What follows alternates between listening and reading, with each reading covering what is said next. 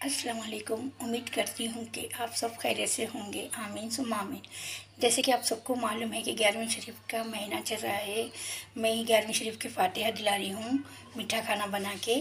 आप देखिए, ये आधा किलो चावल है। एक घंटा भिगने रख दी थी मैं ये चावल को। मीठा खाना पका रही हूँ। ये आधा किलो शक्कर है। एक गिलास दूध है। सौ ग्राम घी है। छटा खोपरा है। छटा बादम है छः से सात इलायची है, ये ज़ाफ़रानी का कलर है, ये किशमिश है, ये काजू है। अब मैं आपको पकाने का देखिए, अब मैं ये शीरा बनाने की तैयारी कर रही हूँ। ये घी डाल रही हूँ मैं। सौ ग्राम घी है ये।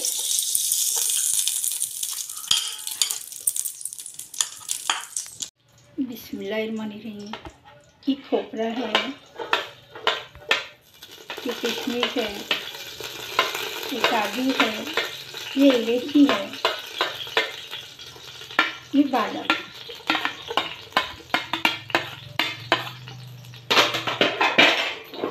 ये अच्छे से ज़रा ब्राउन हो गया था तो इसमें शक्कर डालूँगी अब देखिए ब्राउन कलर हो गया है, ये मेरा पूरा मगजिया अब मैं इसमें पानी डाल रही हूँ। आधा किलो चावल में एक लीटर पानी डालना चाहिए इसमें ये शीरे, पानी डाल रही हूँ मैं एक लीटर। अब इसमें एक आधा किलो शक्कर डाल रही हूँ।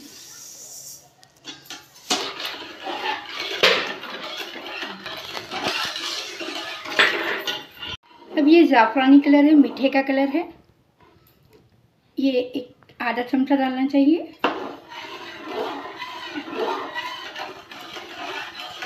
अभी अच्छे से शीरा ओढ़ गए बाद मैं इसको अलग से खाना पका के अब मेरा ये शीरा औंटे तक अच्छे तरीके से औड़ गए बाद मैं इधर चावल चढ़ाना शुरू कर ये शीरा पके तक मैं एक खाना भी बना ले रही हूँ। देखिए आप लोग देख सकते हैं, ये खाना पकते ही मैं शीरे में मिलाने का तरीका बतलाऊँगा। माशाल्लाह, बहुत अच्छी खुशबू आ रही है। ये घर के ही चावल है, नॉर्मल चावल है। ये 80 परसेंट गल गए हैं। आप देख सकते ये 80 परसेंट चावल गल गए हैं मेरे। अब मैं शीरे में मिक्स करूँगी। माशाल्लाह, बहुत अच्छी खुशबू आ रही है। आप देख सकते हैं, ये शीरा अच्छी तरीके से पक गया है।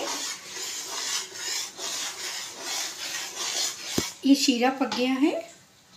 अब मैं ये खाना 80 परसेंट पका ली थी, अब इसको मिक्स करें।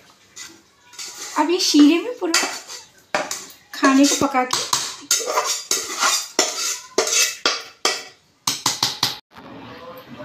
देखिए, मैं शीरे में अपने चावल पके हुआ मिला दी हूँ। अब इसमें मैं बोली थी कि दूध मिलाती हूँ, बहुत अच्छा मुलायम बनता है। ये एक गिलास दूध है। अब ये दूध और ये शीरा और ये चावल अच्छे से मिक्स हो गए बाद मैं दम देते वक्त आपको बतलाऊँगी। माशाल्लाह, ये मीठा पक चुका है, आप लोग देख सकते हैं। अच्छी तरीके से ये मीठा पक गया है मेरा। मैं इसमें दूध भी मिलाई हूँ लोगों को मीठा शीरे में भी पकाते हैं, मगर मैं अलग से पका के इसको दम देती हूँ। माशाल्लाह, बहुत खुला खुला अच्छा बन गया है, आप लोग देख सकते हैं। माशाल्लाह, मैं ये अब मैं ये चूल्हा बंद कर रही हूँ। अब ये मीठा मेरा पक गया है।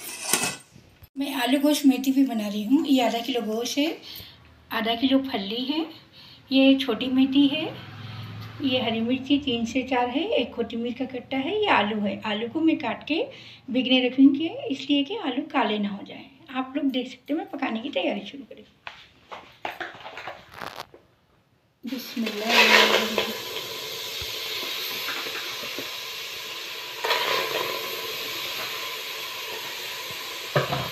पेस्ट है। मैं दो चमचे डाल रही हूँ। मिर्ची पाउडर है, दो चमचे डाल रही हूँ मैं।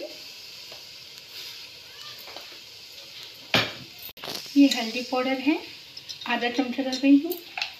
आप लोगों को बोलती हूँ कि मैं हमेशा नमक एक चमचा साथ मिलाती हूँ, मसाले में मिक्स हो जाए गोश्त में।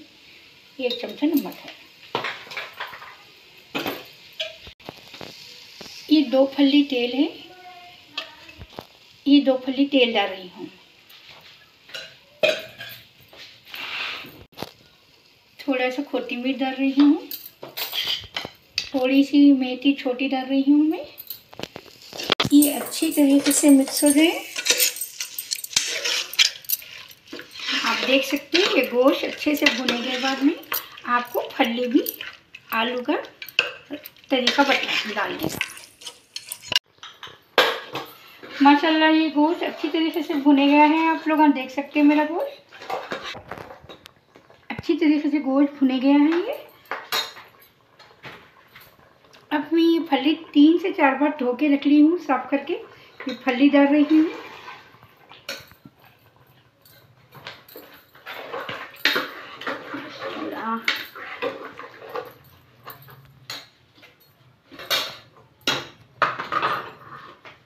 आपको मैं इससे पहले भी बतलाई थी कि मैं फली के साथ ये आलू भी कटोरे में गलने के लिए रख देती हूँ, ताकि तीन सीटी में ये अच्छे से गल जाए। माशाल्लाह माशाल्लाह। आप लोग देख सकते हैं, ये फली मेरी पक चुकी है। ये अच्छी तरीके से आलू भी गल गए हैं।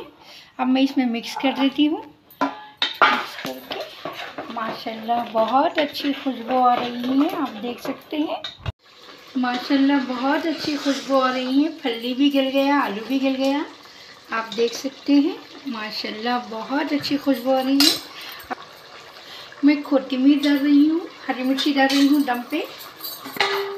ये छोटी मेथी है। माशाल्लाह, बहुत अच्छा बन गया है सालन मेरा।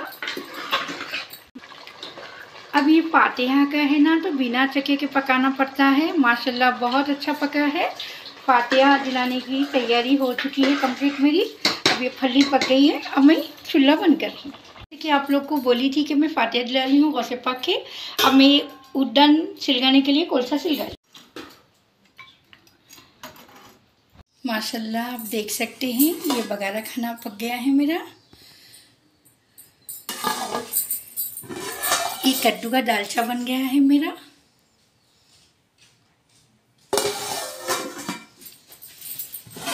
ये खाने का मीठा है। खाने का मीठा बनाई हूँ मैं। माशाल्लाह, बहुत अच्छी खुशबू आ रही है। मगर ये फातिहा का खाना है ना, जो दिलाते ना तो चक्के वगैरह ही पकाना पड़ता है इसको। फातिहा दिलाए चकना पड़ता है। इसको अब ये गवार की फली आलू गोश्त मेथी है। माशाल्लाह बहुत अच्छी खुशबू आ रही है। आप देख सकते हैं, माशाल्लाह बहुत अच्छी बनी है। माशाल्लाह, ये मैं पहले भी बगारे खाने की वीडियो डाल दी थी, इसलिए मैं आप लोगों को नहीं बतलाई। आप लोग देख सकते हैं मेरी लिंक में। आप लोगों को वो लिंक मैं दे दूँगी बगारे खाने की। इसलिए मैं आप लोगों को नहीं बतलाई बगारे खाने की। माशाल्लाह, ये कद्दू का दालचा है। बहुत अच्छी खुशबू आ रही है। कि मैं ये कद्दू की भी दालचे की रेसिपी डाली थी मैं।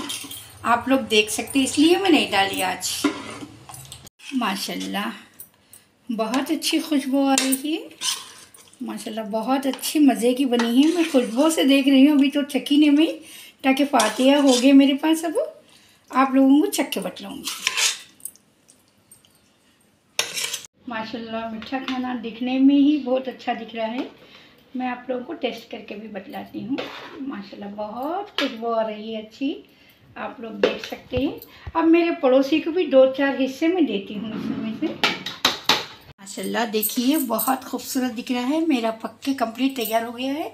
ये बघारा खाना है, ये कद्दू का दालचा है, ये आलू गोश्त मेथी है, ये मीठा खाना है।